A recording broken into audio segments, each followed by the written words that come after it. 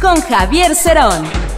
Ante el freno del gasolinazo, el sector obrero manifestó su conformidad en sentido de que esto pues viene a frenar cualquier escalada de precios, pero sobre todo dijo que hay que dar mayor certidumbre en el mercado porque esto impacta hasta en el proceso de las inversiones y la generación de empleo y por lo tanto se debe tener una tendencia más cierta de hacia dónde van los precios de las gasolinas y los combustibles, porque de lo contrario pues habrá freno en estos rubros. Al respecto dijo que si bien se han creado empleos por más de 80 mil en el primer mes de este año, pues todavía es insuficiente porque hay mucha gente desempleada y a eso hay que agregar pues los connacionales que están deportando de los Estados Unidos con la política del presidente actual y esto va a generar presiones sobre el mercado laboral. Por más que se les ofrezca alguna situación de estabilidad, esta va a ser insuficiente porque no son los mismos salarios los que se ganan aquí que los que se perciben en Estados Unidos. En otro tema, los trabajadores de Mexicana de Aviación